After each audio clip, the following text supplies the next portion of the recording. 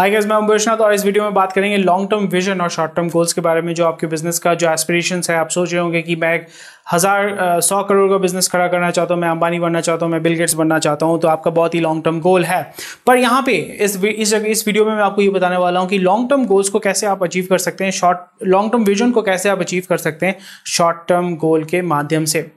तो यहाँ पे सिंपल से एग्ज़ाम्पल है, बहुत सारे आपको एग्जाम्पल्स मिलेंगे, पर मेरा एग्ज़ाम्पल ये है कि आपके सामने माउंट एवरेस्ट है। आप वो चोटी में जाना चाहते हो that's very painful and it's a very you know tough journey आपको पता नहीं है। अगर गिर गए तो मर भी सकते हो। और कोई गारंटी नहीं होती है कि आप जीतोगे। तो इस जगह पे आप क्या, आपको क्या करना चाहिए? आपका लॉन्ग टर्म विजन है, ठीक है? आपका, जब भी आप माउंट एवरेस्ट जाना चाहते हो ना, आपका बेस कैंप होता है base camp one two three four ऐसा करके फिर step by step step by step जाते हैं। फिर उसके पहले भी आपको खुद को प्रिपेयर करना पड़ता है। मैं अभी जिस हालत में हूँ राइट मैं नहीं जा सकता हूँ I die I am not physically fit to go to Mount Everest so सबसे पहले मुझे क्या करना पड़ेगा? I need to get fit then I need to prepare for you know mountaineering training करना पड़ेगा. तो यहाँ पे आपने लॉन्ग टर्म विजन आपके पास है, बहुत अच्छी बात है, आपने उसको लिख के रख दिया. उसके बाद आपको शॉर्ट टर्म गोल अचीव करना है.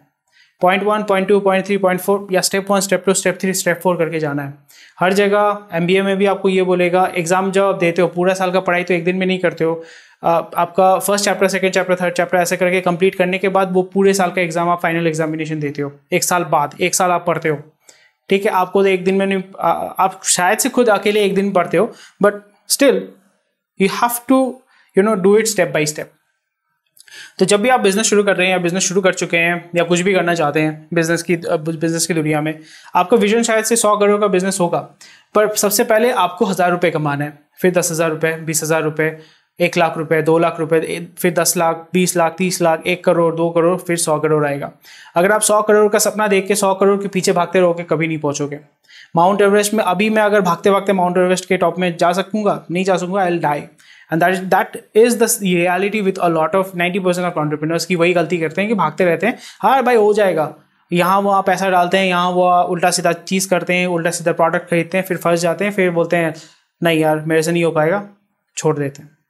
You do not want that आपका लॉन्ग टर्म विजन होना चाहिए, लिख के रखिए, फिर उसको शॉर्ट टर्म गोल में ब्रेक कीजिए। फिर सबसे पहला जो स्टेप है, उसको लीजिए।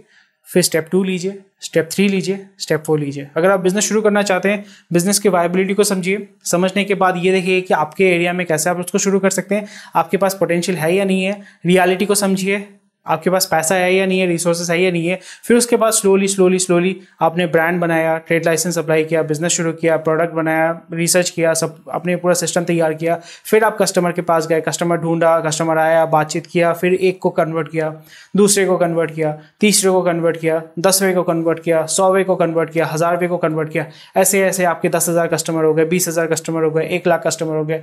तो मैंने डायरेक्ट तो एक लाख कस्टमर में जा नहीं सकता हूँ, मुझे शुरू करना पड़ेगा So I started from point zero, then point two, point three, point four, point five, then point x where I want to go.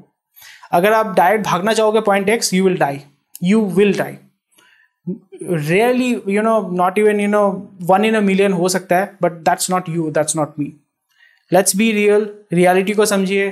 अगर आप रियलिटी को एक्सेप्ट नहीं करेंगे नहीं समझेंगे न्यूट्रल तरीके से नहीं देखेंगे you will suffer a lot so please have long term vision but set short term goals. Look run for short term goals but wait for long term vision. Please do that